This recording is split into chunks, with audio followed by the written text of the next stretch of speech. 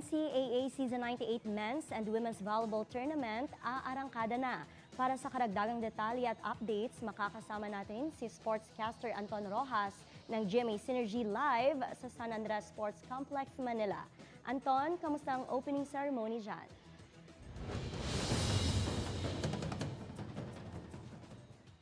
Zen, it's official. Dineklarang open ang NCAA Season 98 Volleyball Tournament dito sa San Andres Sports Complex sa Manila. Mapapanood na natin ang pagsisimula ng title defense ng Benilde Lady Blazers para sa championship na kanilang nakamit nung nakaraang taon sa NCAA Season 97. At syempre, kaabang-abang din ang pagbabalik ng men's volleyball na huli pa nating napanood bago ang pandemya. Isang simple pero makasaysayang opening ceremony ang ginanap kanina para ipagdiwang ang pagbabalik ng kaabang-abang na NCAA volleyball season.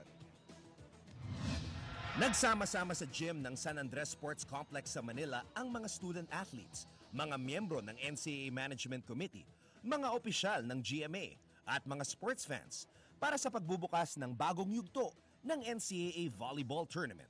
Masaya ang lahat lalo na ang mga manlalaro sa men's division na magpapakitang gilas muli kasama ng mga lady spikers. Matapos ang mga makabuluhang mensahe, entertainment number hatid ng XOXO at pagbigkas ng oath of sportsmanship ang pinakahihintay ng lahat.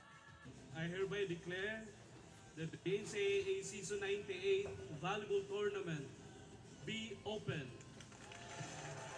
Uh, expectation sa ngayong season ay talagang magiging competitive. There are new players actually in many school in all of the schools. We expect also yung magandang tournament dito sa men's kasi makikita natin sila for this season. Since we started no season 96, uh, GMA remains committed to the um, collegiate sports. Kaya binigay talaga ng network no lahat ng pwede nating ma matulong no para magkaroon ng lahat ng mga games. Whatever that uh, NCAA would like us to support pinag-iisipan talaga natin yan para matulungan natin. At the same time we'll be able to uh, produce a world class no na sports entertainment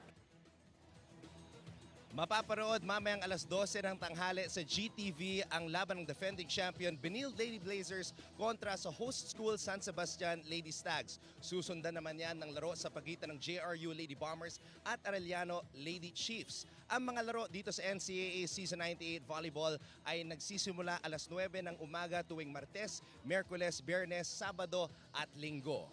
Mula dito sa San Andres Sports Complex sa Manila para sa GMA Synergy.